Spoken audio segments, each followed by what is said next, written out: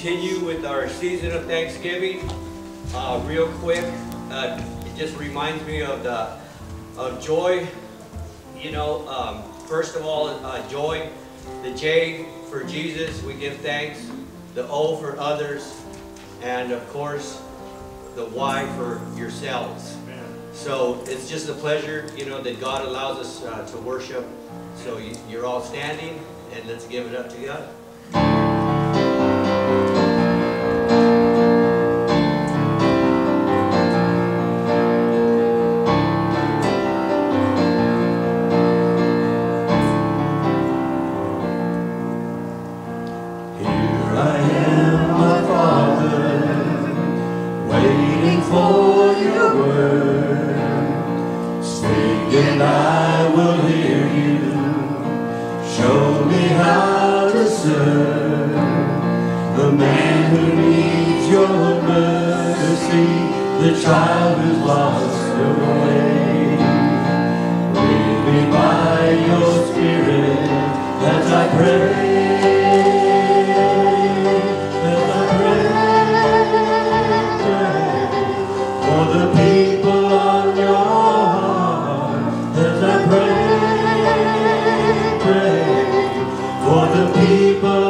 Your heart.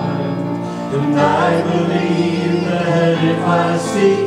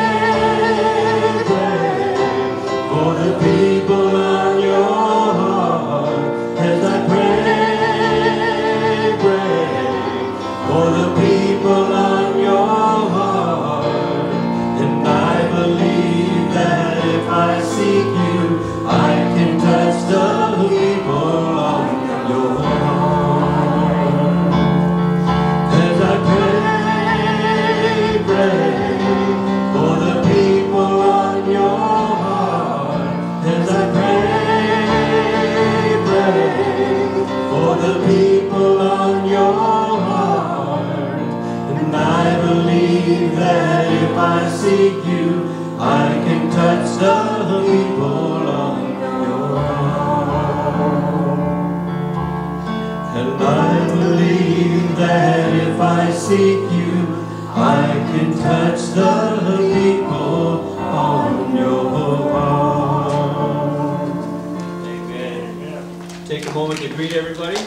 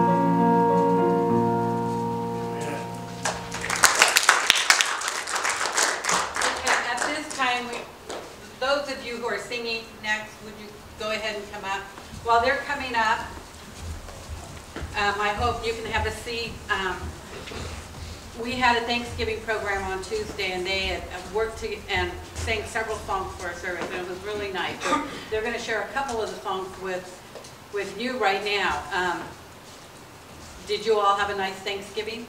Yes yeah, good. I did too.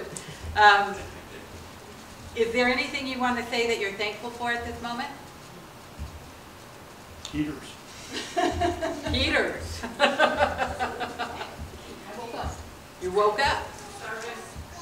Service.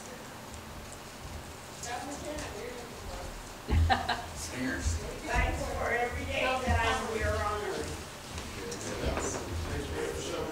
All right. Enjoy.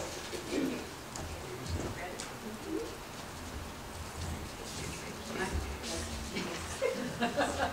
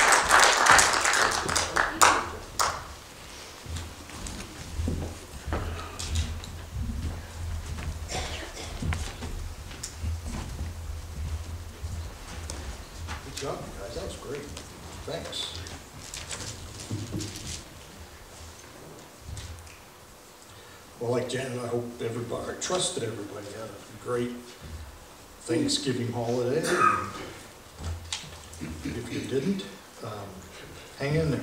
We're- That's what we're all here for, to get through the holidays as well as to uh, enjoy the benefits of them. Jeremiah chapter 23. Almost 2,500 years ago, the Greek philosopher Plato said that those who are too smart to engage in politics are punished by being governed by those who are dumber. 2,400 years later, Friedrich Nietzsche, the brainchild of the God is dead theology, proclaimed that Plato was a bore, to which Russian author of War and Peace, Leo Tolstoy, remarked Nietzsche was stupid and abnormal. Now, I'm sure, I'm not sure exactly what it is, but politics seems to bring out the worst in just about all of us. Journalists pontificate on how the public should vote and then chastise us for those that we elect as if we're to blame for their convoluted policies and coming up so short of their promises.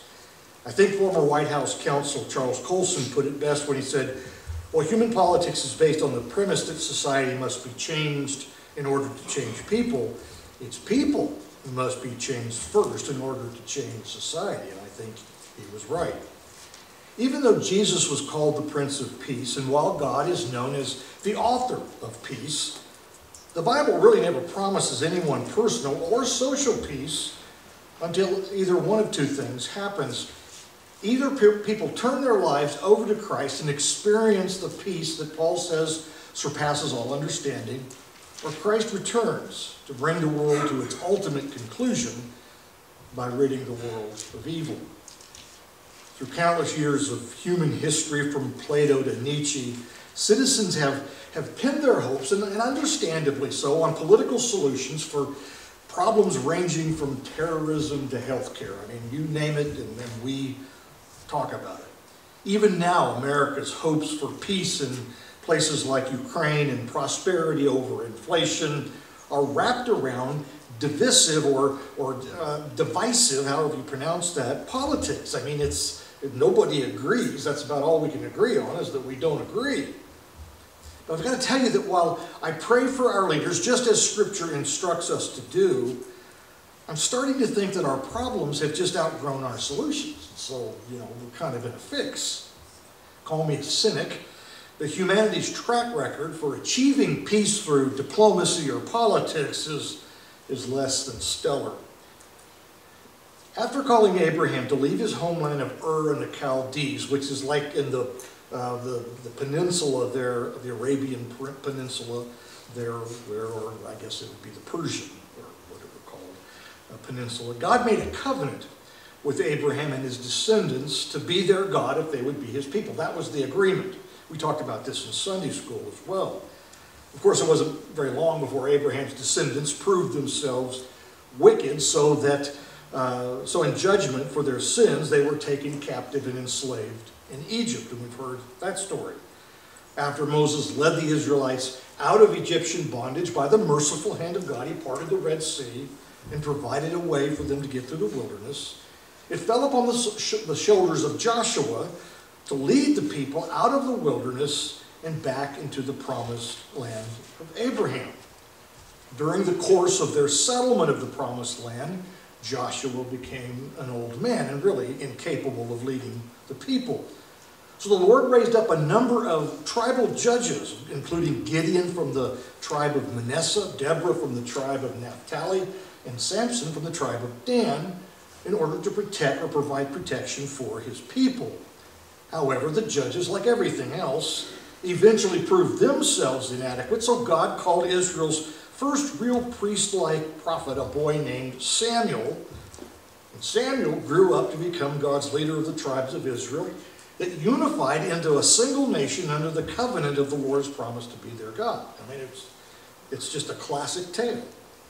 Under Samuel's leadership, Israel experienced tremendous progress from a scattered coalition of, of Abraham's kinfolk to a cohesive population of God's chosen possessors of his land.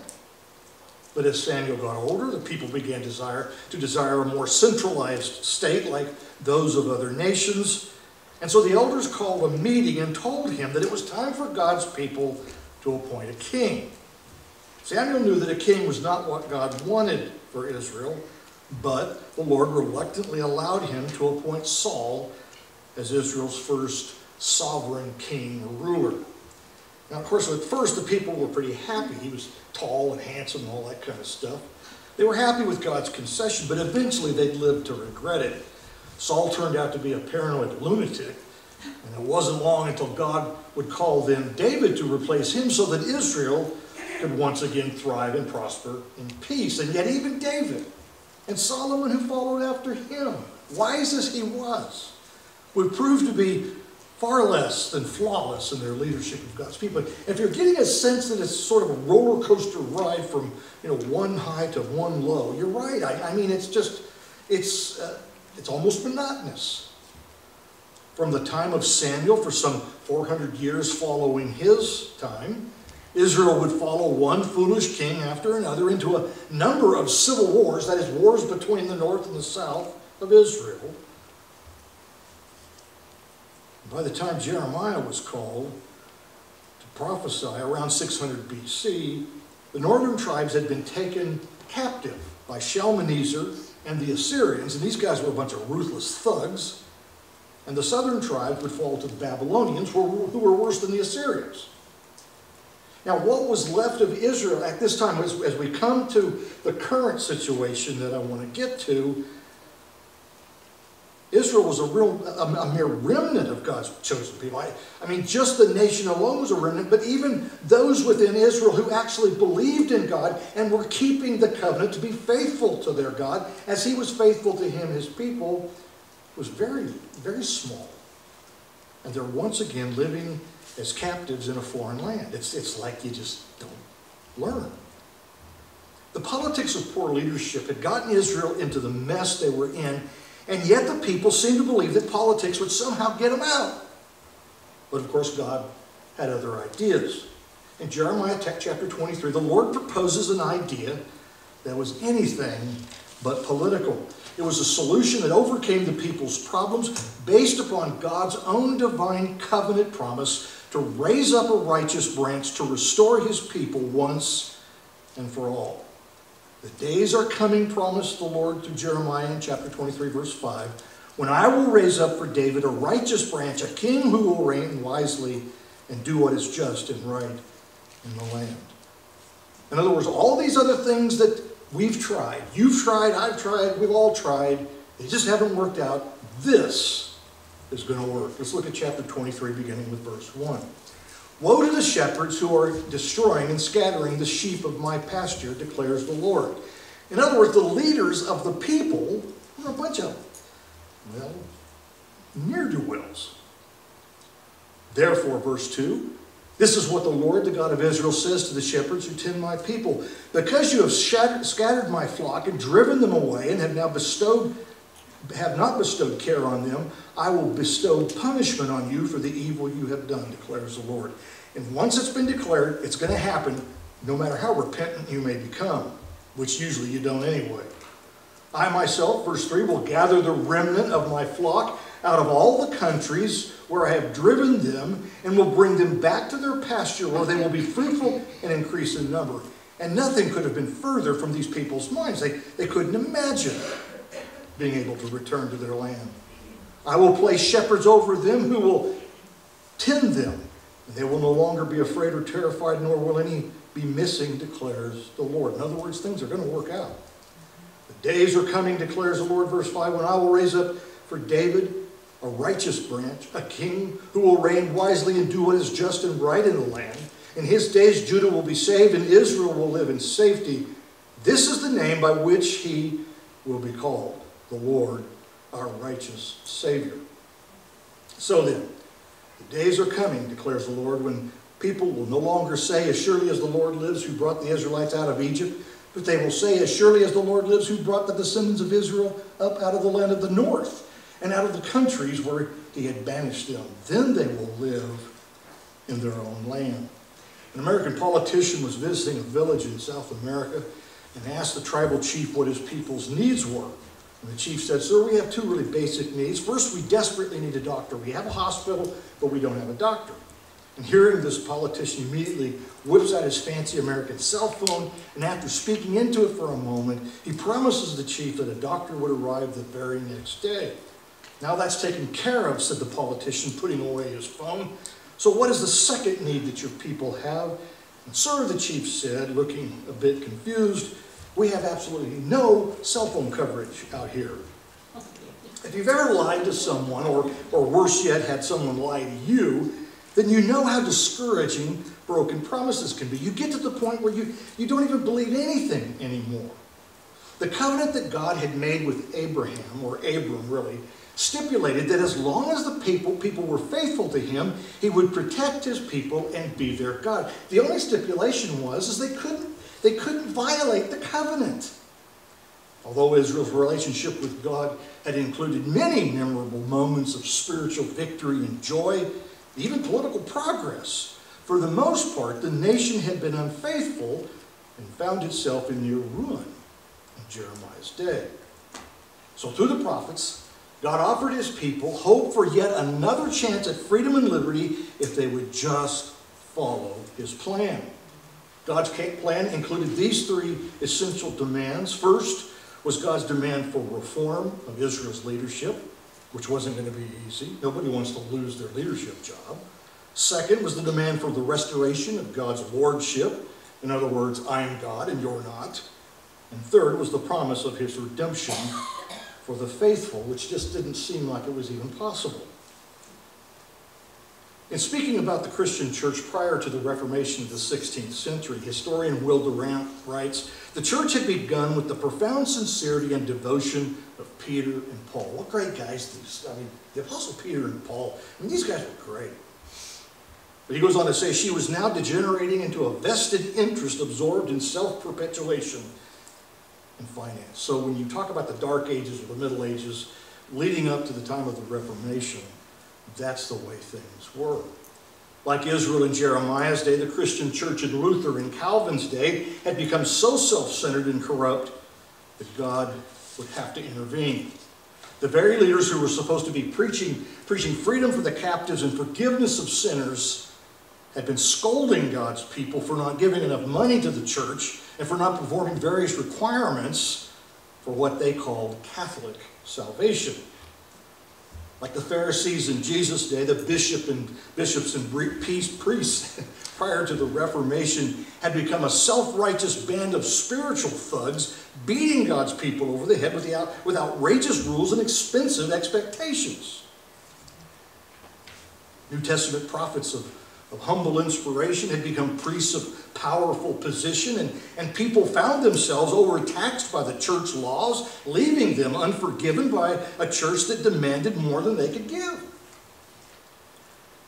The security of knowing Christ and his promise of eternal life in the days of the Reformation had become an item for sale, available only through the penance system of what amounted to costly indulgences.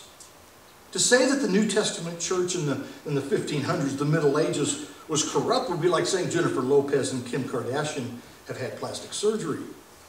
And so it was in Jeremiah's day, a time when the very persons appointed by God to lead his people, the, the shepherds, exploited those self-same people for personal gain. You see, sin and corruption have a subtle way of creeping in to the most holy of human institutions. Israel's leadership in Jeremiah's day had become a class of self-serving political parasites willing to say or do anything to preserve their own power. Their leaders had made foolish diplomatic alliances. They'd sold their people out, basically. And the political aptitude of some of them bordered on complete incompetence.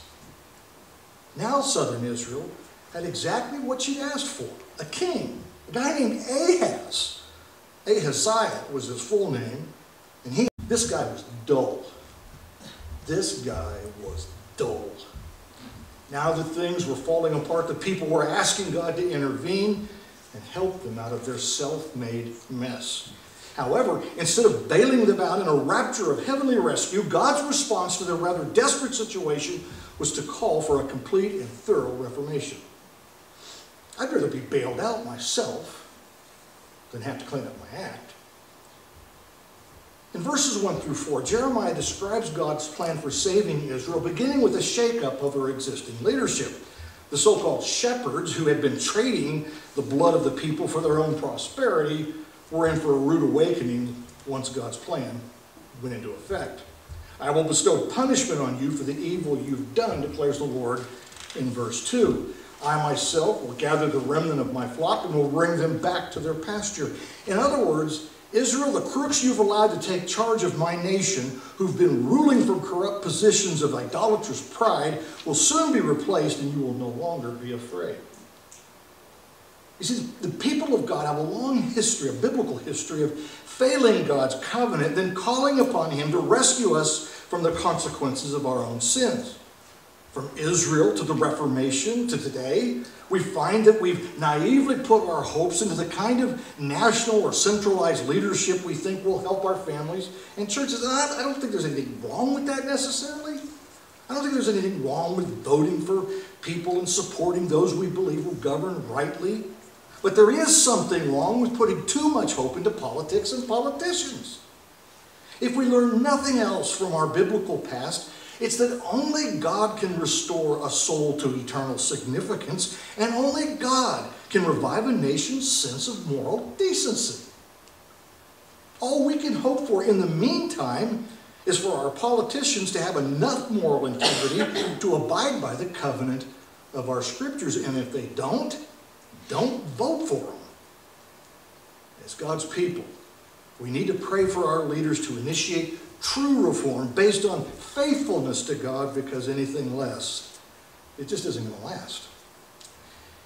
In verses 5 and 6, God responds to Israel's predicament with this promise The days are coming when I will raise up to David a righteous branch, a king who will reign wisely and do what is just and right in the land. In other words, a king who will actually be a king.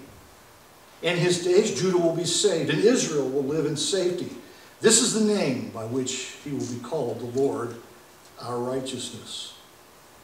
God chose the lowly things of this world, says Paul in 1 Corinthians 1.27, so that no one may boast before him. It is because of him that you are in Christ Jesus, who has become for us wisdom from God, that is our righteousness, holiness, and redemption. Whenever the, the, the people that we vote for take office, we usually hope that things will be different. I mean, I do, you do, we all do. But then after a few weeks, we realize that no matter who's in office, the kingdom of humanity seems to stay about the same or get worse. For Israel, the command was to wait for the coming Messiah, the righteous branch in verse 5.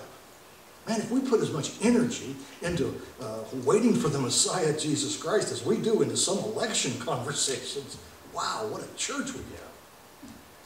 God didn't expect them to do anything until He Himself had approved of their reforms in order to initiate their restoration.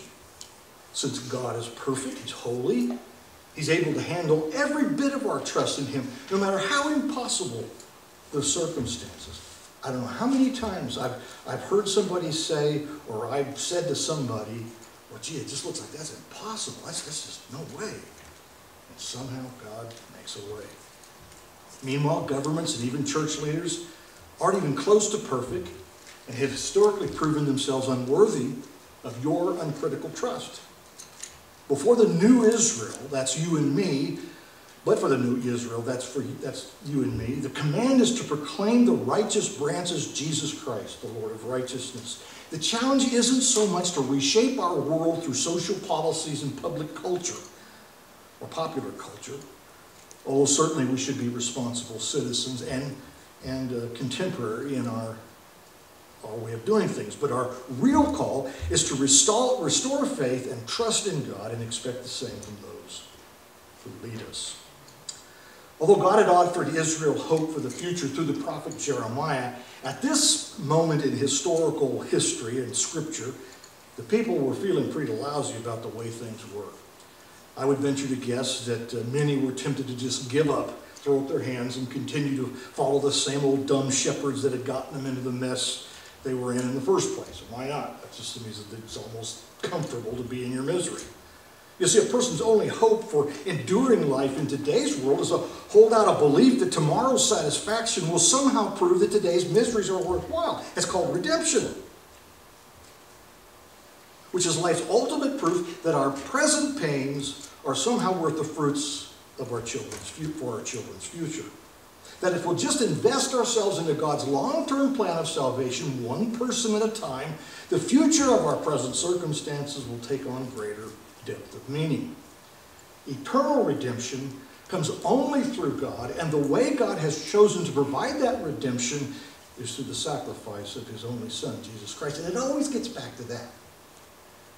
I'm here to tell you that investing your hope in anything or anyone else is a disappointment waiting to happen. When you remove the dumb shepherds in your life that have misled you from following God's plan, you will experience the beginnings of real hope and peace. Which seems like a coincidence because I'm retiring and this dumb shepherd is going the way of many old preachers. Recently, I read a story about a biblical, or about the biblical scholar Matthew Henry. He's the one that wrote the, uh, uh, I think there's like five or six volumes um, of commentaries on the Bible that while he was in London, he made a, met a lady of, of very high nobility, very wealthy, and they fell in love. She went to ask her father if uh, she could marry Henry, and the father said, well, he's got no background, you don't know uh, where he's come from, that sort of thing. And she said, yeah, that, that's true, Dad. I, I don't know his background or where he come from, but I know where he's going, and I want to go with him people around us may not understand why we insist upon following Jesus as his disciples. I mean, it just seems like everything is so chaotic and, and just absurd. But our Savior's historical background and where he came from has been the subject of endless criticism and confusion as well as outright lies over the course of 2,000 years. And, and you just kind of wonder sometimes if even Christians believe it. We may not always be certain of his background, but we can know where he's going. And as for me in my house, we're going to follow him to the very end. Throughout this sermon, I've hedged and hinted, hinted that Jesus Christ is somehow our only hope nationally, individually, spiritually, and politically. The reason guys like Jeremiah, Ezekiel, and Isaiah in the Old Testament, as well as John the Baptist, Peter, and the Apostle Paul in the New Testament, the reason they could put so much confidence in the Bible's promise of a Messiah like Jesus was because God himself had made that promise and they knew that if God said it, it was going to get done. Not only did God send a Messiah to save the world from self-destruction, but he himself was and is that Messiah. Matthew, in his gospel, calls him Emmanuel, meaning God, meaning God with us. This church meets here week in and week out to provide folks of this community an ongoing opportunity to meet and fellowship with the Messiah personally and publicly. Most of us have experienced the healing forgiveness of God's grace through Christ, but sharing it with others makes it all the more worthwhile. As a kid, Edward grew, grew up neglected, spending much of his time on the streets while his parents managed a pub in London. He was one of those latchkey kids, although I don't even think he had a latch or a key. He said of his younger days, uh, so ignorant was I that I didn't know where that there was a God. But at the age of 18, he heard God's word and it changed his heart, changed his life. He was baptized and went on to lead a successful career as a cabinet maker. But later in his life, after becoming a pastor at age 55, he wrote the song On Christ the Solid Rock I Stand in 1834. On Christ the solid rock I stand, all other ground is sinking sand. My hope is built on nothing less than Jesus' blood and righteousness. I dare not trust the sweetest frame, but wholly lean on Jesus' name. He really understood, or had come to understand, what life was all about. And what it's all about is coming back to the cross, where we understand that, especially during Christmas time, there is this uh, message that God is trying to get to us. That, that all the disappointments we've had, all the times we've, we've thought it was going to you know, was to turn around and things were going to get a little bit better or whatever, that those disappointments were intended to bring us to a point of trusting in Him and realizing that He would never disappoint. My prayer is, is if you've never made a profession of faith in Christ, that even today you would repent of your sin, that is trying to follow shepherds that aren't worth following, and uh, come to Him in personal, in a very personal way. And He will give you the life that is everlasting. If you would stand with me for a word of prayer. Lord God, your Bible is rich with so much, uh, oh, I don't know what the right word is, uh, I guess information or knowledge, certainly wisdom. It's just jam-packed. And sometimes it's hard to, to kind of sort out what we need to know or need to keep in our minds in order to, to really understand our relationship to you. But I, I, I keep coming back to the cross and to the resurrection of Christ because it is the central focus of Genesis to Revelation. It is the promise that you've made that ultimately our lives will have made sense because we put our trust and our faith in you. We've got all kinds of evidence of people who've put their trust in all kinds of things, and it just never works out. And I pray, dear God, that today we would renew our covenant with you, a covenant that's just dripping with grace, where you've spoken to us out of your love and affection for us and called us to be your people as you so graciously provide protection and meaning and, and purpose by being our God. We thank you for this time of Christmas and the season that we're about to celebrate in thanksgiving for all that you've done. That you, Lord, would receive our worship and our praise because we do love you and want to give you the very best that we have to offer. In your blessed name we pray. It's our custom at Calvary to provide you with an opportunity to respond to this day's worship.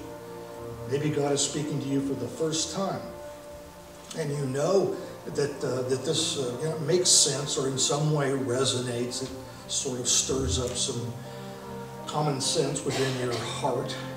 And so you need to respond. And so we, we provide this time of public, uh, public uh, invitation for you to do such. To repent of your sins, to ask Christ into your heart. But maybe even right where you're at, to just simply uh, spend a couple seconds, a few seconds with God. That, you know, that, uh, this is my favorite part of being a pastor is to just stand before God's people with my mouth shut and my, my heart open along with all my brothers and sisters to just pray for, well, for the impossible. Someday, somehow, it's all going to work out because of Christ, who took away all the disappointment when he bore our sins on the cross. As Jenna plays, I'll be here at the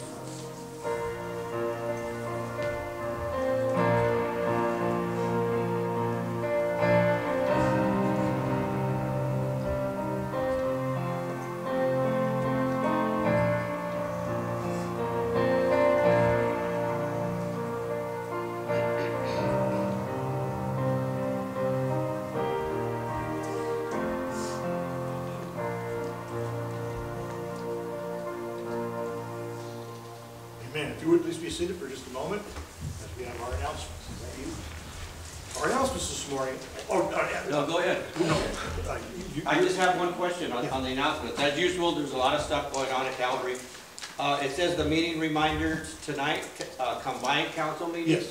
What is the combined part mean? That, that, don't, it's not that your committee.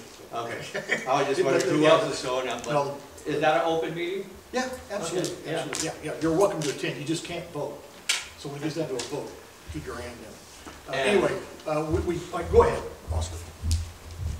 Yeah, a lot of stuff going on as usual. Uh, it's all in the bulletin.